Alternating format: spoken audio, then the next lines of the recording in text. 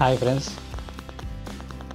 உலக வெப்பமயமாதல் நம்ம எல்லாருக்கும் தெரிஞ்ச விஷயந்தான் இந்த உலக வெப்பமயமாதல் எவ்வளோ முக்கியமான விஷயமோ அதே மாதிரி அந்த காற்று மாசு அப்படிங்கிறதும் ரொம்ப முக்கியமான விஷயமா இன்றைக்கி சுற்றுச்சூழலில் எந்தளவுக்கு அதிகமான பாதிப்பை ஏற்படுத்துது அப்படிங்கிறத நம்ம பார்க்க முடியுது.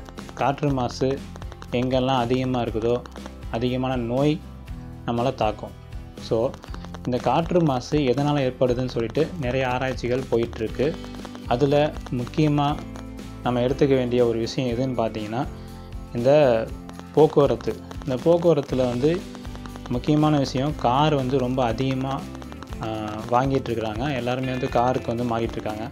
முதல்ல சைக்கிள் இருந்துச்சு அப்புறம் வந்து பைக் வாங்க ஆரம்பித்தாங்க அதுக்கப்புறம் பார்த்திங்கன்னா அடுத்த லெவலுக்கு வந்து கார் வாங்க ஆரம்பிச்சிட்டாங்க. ஸோ இந்த காரில் வந்து எலக்ட்ரிக் கார் அப்புறம் பெட்ரோல் டீசல் கார். ஸோ இந்த ரெண்டு கேட்டகரியில் எது வந்து காற்று மாசு அதிகமாக இருக்குதுங்கிறத ஒரு ஆய்வு வந்து நடத்தியிருக்காங்க அந்த ஆய்வை வந்து எந்த கம்பெனி நடத்தியிருக்காங்கன்னு பார்த்தீங்கன்னா எமிஷன் அனலிட்டிக்ஸ் அப்படிங்கிற ஒரு நிறுவனம் வந்து இந்த ஆய்வை நடத்தியிருக்கு. ஸோ இந்த ஆய்வு நடத்துறதுக்கு எந்த காரை வந்து யூஸ் சூஸ் பண்ணியிருக்காங்கன்னு பார்த்தீங்கன்னா டெஸ்லா மாடல் ஒய் காரு. அப்புறம் இன்னொன்று Ford F one twenty lightning அப்படின்னு சொல்லிட்டு ஒரு மாடல் இருக்குது ஸோ இந்த ரெண்டு மாடலை தான் வந்து சூஸ் பண்ணியிருக்காங்க. டெஸ்லா மாடல் ஒய் கார் பார்த்தீங்கன்னா ஃபுல் அண்ட் ஃபுல் வந்து பேட்ரி தான்.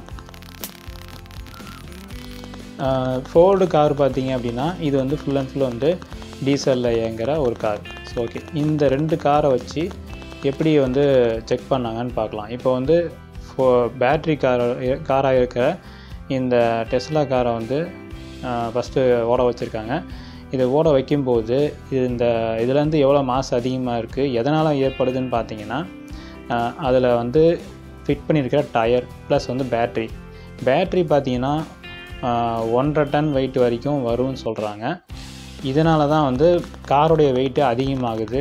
நார்மலாக பெட்ரோல் டீசல் காரு காரோடைய எடையை விட இந்த டெஸ்லா காரோடைய எடை வந்து அதிகமாக இருக்குன்னு சொல்கிறாங்க ஸோ அதனால தான் வந்து என்ன ஆகும்னு பார்த்தீங்கன்னா அந்த இதில் பொருத்தப்பட்டிருக்கிற அந்த டயர் வந்து தேய்மானம் ஆகும்னு சொல்கிறாங்க அந்த தேய்மானம் ஆகிற துகள்கள் வந்து காற்றில் வந்து அதிகமாக பரவுதுன்னு சொல்கிறாங்க அந்த துகள்கள் பரவும் போது எத்தனையோ கிலோமீட்டர் தூரத்துக்கு வந்து காற்றுல வந்து அந்த துகள்கள் கலந்து மாசு உண்டாக்குது. ஏன் இந்த டயர் தானே? டயர்னால என்ன மாசு உண்டாகுதுன்னு பார்த்தீங்கன்னா இந்த டயரை வந்து எதுலேருந்து உருவாக்குறாங்க அப்படின்னு நம்ம பார்க்கும்போது கச்சா எண்ணெயிலேருந்து தான் டயரை வந்து உருவாக்குறாங்கன்னு சொல்கிறாங்க ஸோ வந்து இது வந்து ஒரு கச்சா எண்ணெயிலேருந்து எடுக்கிற செயற்கை ரப்பர்லேருந்து இது தயாரிக்கப்படுது அப்படின்னு சொல்கிறாங்க எந்த கச்சா எண்ணெய் வந்து சுற்றுச்சூழலுக்கு ஆபத்தானதுன்னு நம்ம நினைக்கிறோமோ அதே கச்சா எண்ணெயிலேருந்து தான் இந்த டயரை வந்து உருவாக்குறாங்க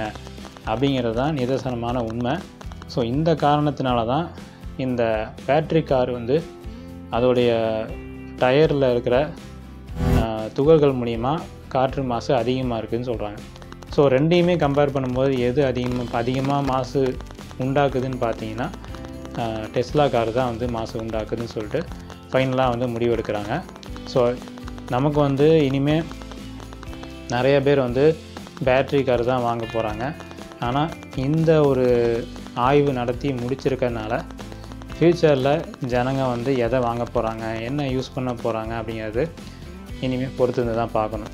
ஆனால் வந்து ரெண்டு கார் கார்களுடைய விற்பனையும் அதாவது பேட்ரி காருடைய விற்பனையும் அதிகமாகிட்டு தான் இருக்குது பெட்ரோல் டீசல் காருடைய விற்பனையும் அதிகமாகிட்டு தான் இருக்குது எது நிலச்சி நிற்குங்கிறது இனிமேல் வரக்கூடிய நாட்களில் தெரிய வந்துடும் ஸோ இந்த தகவல் சொல்கிறது தான் இந்த வீடியோ இந்த வீடியோ உங்களுக்கு பிடிச்சிருந்தால் மறக்காமல் லைக் பண்ணுங்கள் ஷேர் பண்ணுங்கள் கமெண்ட் பண்ணுங்கள் நம்ம டெக்ஃபேர் தமிழ் சேனலை சப்ஸ்கிரைப் பண்ணுங்கள் தேங்க்யூ ஃப்ரெண்ட்ஸ் பை